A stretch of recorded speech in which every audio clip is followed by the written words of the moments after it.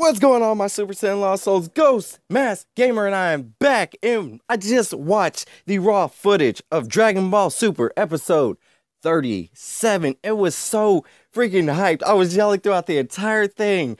I was so hyped. This was amazing. Oh my god, I was so happy. Okay, let's start off. Kabe can mimic moves what? What? That that's crazy. He mimicked the Galick gun. And I was so freaking hyped. I was like, wait, so does that mean he can mimic this Super Saiyan form? And I was like, okay. And then Vegeta ends up talking about it, and I'm guessing that's what he was saying. But oh man, he was basically I can't tell what they're saying, so don't quote me on this. But I'm guessing he's asking, can you mimic going Super Saiyan then? And I'm guessing he said no. Kabe probably said no. And Vegeta beat the living daylights out of him until he raged out. that doesn't matter. But, um, Kabe, as soon as he went Super Saiyan, he raged the fuck out.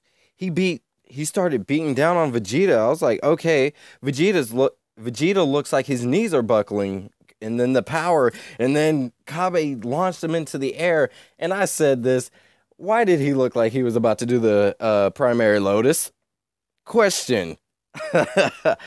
but Vegeta was blocking all the hits, taking it, taking it in. And Vegeta just blew it all away. I was so freaking me- mesmerized. It was crazy. And then it so happened Vegeta transformed into the Super Saiyan God Super Saiyan. I would that was that's crazy. Why? Why do you even need that? You could have went Super Saiyan 2 and just dealt with him. But no, you just skipped straight into it and just dashed straight at him and one shot him. That that was crazy. His body hit the floor like it was nothing. And then shortly after, the ref seen it, ran to him, he was out. Now it's down to Hit. What can Hit do? I'm sorry, but this is going to be a preview as well. Hit seemed like he wasn't even moving while in his fighting stance.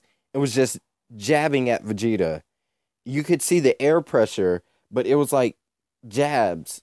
And I was like, oh crap, oh crap, Vegeta's sweating. This is it. Is Vegeta going to get out? We don't know. He may lose. And I'm not going to spoil what some people have already done about what happened on Twitter. But it's okay. I know, but some of you may not know. But this is going to be hype. Next episode Hit versus Vegeta. What is he going to do?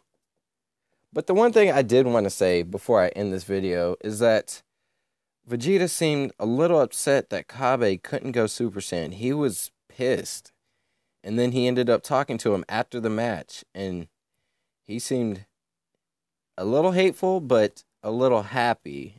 Because he made Kabe cry, but it was like a happy cry. And then Vegeta smirked. That was crazy. I don't know why. That that was freaking awesome. This episode was amazing. But yeah. Have an awesome day, guys.